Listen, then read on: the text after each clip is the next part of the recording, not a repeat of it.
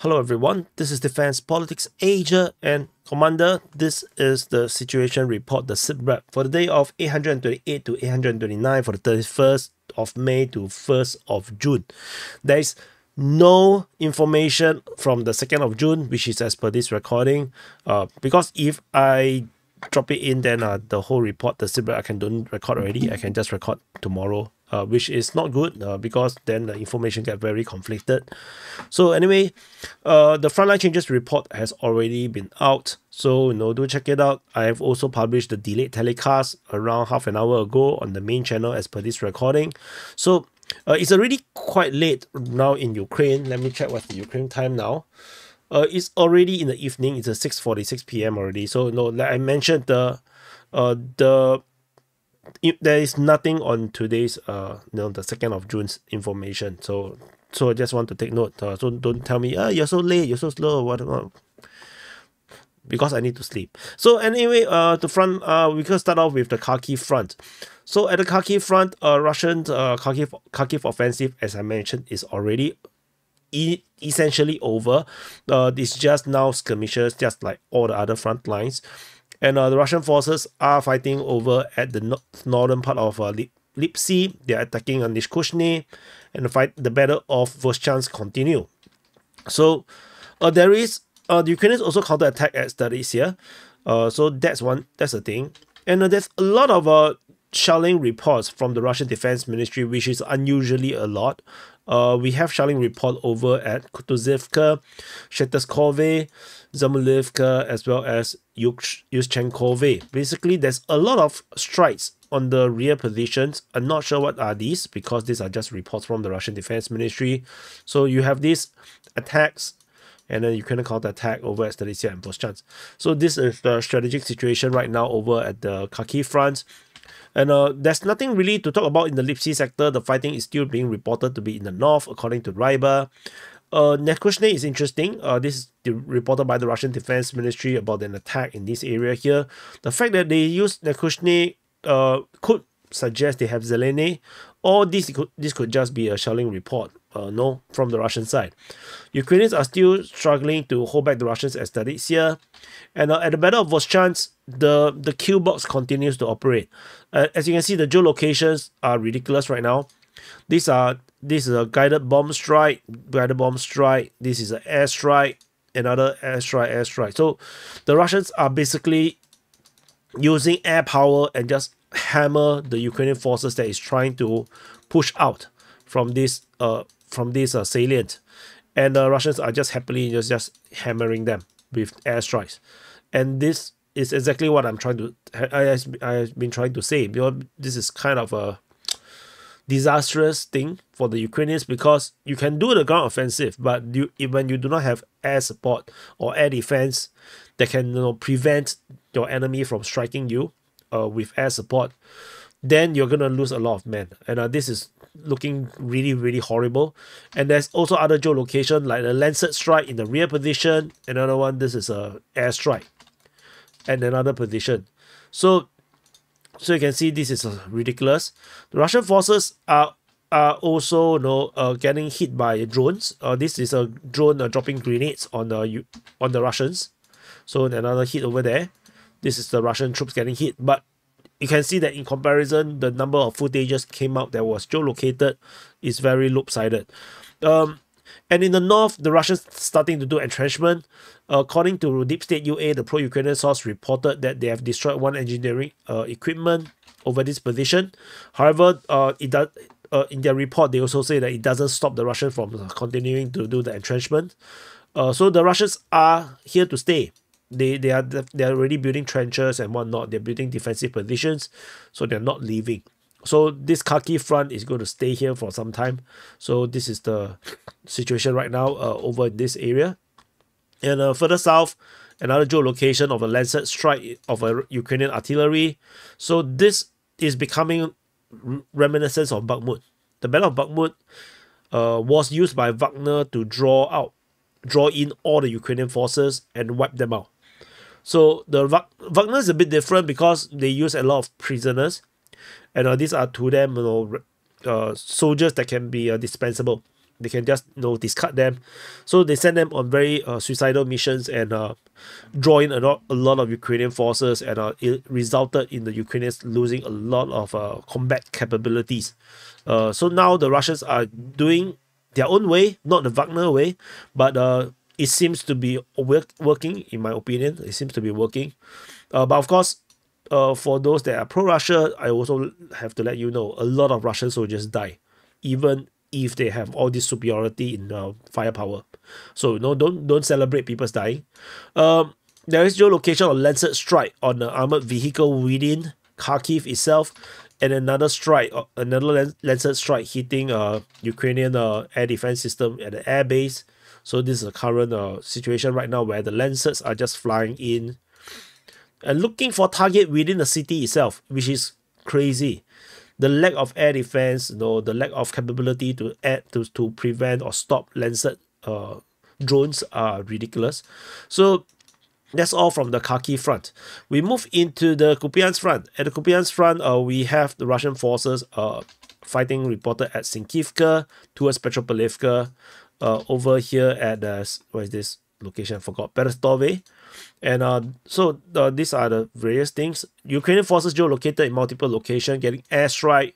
Uh, this is uh, some destruction of the Ukrainian artillery, artillery, and a guided uh, guided artillery strike on the Ukrainian artillery, and uh, this uh, airstrike or artillery strike. So multiple strikes on Ukrainian positions in the rear position. So this is quite scary. Uh, like the Ukrainians pull in the artillery and then they get destroyed. So uh, quite scary uh, further south in the Svatove front, there is Russian geolocated uh, in the Novosibirsk region in the southwestern part of it. Russians are pushing in the southwestern part of Novosibirsk, trying to push out.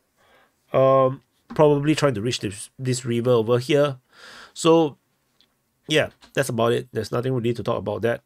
Um, moving south, uh, there is fighting reported at Novoyehorivka as well as Makiivka. And uh, there is some uh, Russian uh, advance in the southeast of uh, Makiivka, very little bit. Uh, there's just some invalidation of Ukrainian claims, but that's about it. Nothing really significant around here. Over the Kreminna front, at the Kreminna front, Russian forces are attacking Terny, Torske, Dibrova, Ukrainian forces attacking Dibrova as well, Russian forces attacking Krykhovka, and shelled Serebryanka. So this is the uh, strategic situation over the Kreminna front, geolocation of uh, Russian shelling Ukrainian forces at Zarishny, and uh, I think that's about it. Uh, that's about it. I think uh, this is very reminiscent of the Kreminna front. You know, last year, no, a lot of fighting, but no, nothing changes. Moving uh, away from the Kreminna front, uh, further south to the Sivers front, uh, there is shelling being reported at Serebryanka, as mentioned earlier, Sivers as well as Kryva Luka. Russian forces are allegedly attacking uh, Vimka, and uh, Ukrainian forces geolocated in the northern part of uh, Bilorivka. And that's about it we have from this region. Uh, very uh, relatively quiet, I would say. Uh, further south to the Bakhmut front, in the northern flank, Russian forces are attacking Zeleniansky, Orikovo Vasilivka, Zelenina, Novi, Chasiv Yar, Ivaniske, south of Ivaniske. So this looks like a serious expansion of operation uh, in the Bakhmut front. So the, the it seems like there is a big arrow here, another big arrow in uh, two big arrows around the same place. You know, one maybe one giant arrow in that sense, uh, in the Bakhmut front. So, uh, clear is that uh, the Russian forces are geolocated across the canal at Kalinina, showing that the Russians uh either broke through, but I don't think so. They looks like no, they it, it doesn't they, they don't fight their way there. It feels more like the Ukrainians have bounced all out of Kalina Kalinina entirely. And uh, they are just using drones to you know attack the Russian forces. There's no more ground troops. The ground troops seems to have redrawn. Uh, this is uh very similar to the report I gotten from my source on the ground uh, that is currently at Chasiv Yar. Uh, he told me that uh, a lot of these uh, Ukrainian forces is now redrawing from Chasiv Yar because they can no longer hold a position and uh, only the Krakens are there and uh, it's unknown if they are able to uh, if they will redraw anytime soon because they tend to redraw very late according to my source. So uh, we will continue to monitor uh, if it's if he is right and there's no more truth defending, we might see the collapse of Chasiv you know, region very, very quickly. And it, it would be pretty pointless as well because the next front line will be Constantinivka and uh, they still have to fight it. So this war, you know, is very stupid. Uh, you know, uh, because the way how of how the Ukrainians have to fight, try to delay action, you know, delay Russian progress. It seems like that's the only objective right now. Know, they, they can't really win the war. Uh, so that is kind of disastrous. Uh, over in Novi, we also see the Russians are expanding in the northern part and uh, they are trying to penetrate into the high-rise zone. I'm not sure who are defending over here. The Russians are struggling to get through into the high-rise uh, area in the Novi region. Geolocation of a thermobaric, thermobaric strike in Novi uh, just shows you know, the disastrous uh, defensive position the Ukrainians will have to take uh, in this area here. There are further geolocation of uh, Ukrainian forces getting hit by Russian artillery as well as a Lancet uh, in Chasiv itself. So it's not looking good. So uh, over at the Ivaniske region, the Russians are also pushing. Uh, geolocation of Russian forces expanding in the southern part of Ivaniske uh, continue to show the Russians tr trying to go through the southern flank while the Russians are also putting pressure on Ivaniske itself. Uh, I mean, out of Ivaniske itself. So uh, the Russians are moving in Bakhmut front. The Bakhmut front has now been uh, really, really activated. Moving uh, south, uh, south in the southern flank of the Bakhmut front, uh, there is fighting reported in the Klishevka region, Andrievka, and Kodomivka. The claim of the capture of uh, Klishevka and Andrievka still not corroborated, so though it's getting a bit old already. 22nd of May, now we're already in June. So uh, we go into the New York front, and the New York front, uh, Ukrainian forces are attacking in the area of New York. Russians are attacking at Alexandro Alexandropil. So that's about it from the New York front. We move into the Avdiivka front. In the northern flank of the Avdiivka front, uh, we have the Russians attacking Novo Alexandrivka. They clash with the Ukrainian forces. Russians attacking towards Bogres. They're attacking towards Yehenivka, fighting in the region of Sokil. Uh, there is fighting reported at Solovyove, Ukraine's counterattack at Novoborodsk, Russia's attack towards uh, Novoselivka, Persha. So uh, this is current, the current strategic situation in this area here. Of significance, of course, is the frontline change in the Sokil region, with the Russian forces now lining up the front line ready for uh, attack from both sides.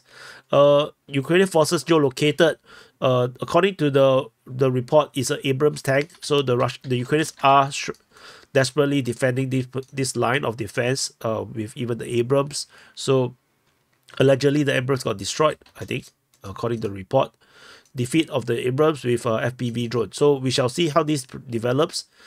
Russian forces themselves are getting shelled by the Ukrainians, so it, it's not like it's not uh, just smooth sailing for the Russians.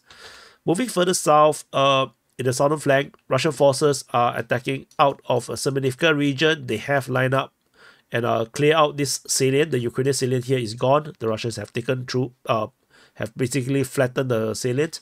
There is still fighting reported in the Umanske region. There's a clash over there. Russian forces are pushing out of Netelove towards Kalivka over here. The Ukrainian forces uh, have are geolocated at Yasno Brodivka, uh, and south of Yasno Brodivka, north of Kalivka, all getting hit by uh, Russian uh, drones.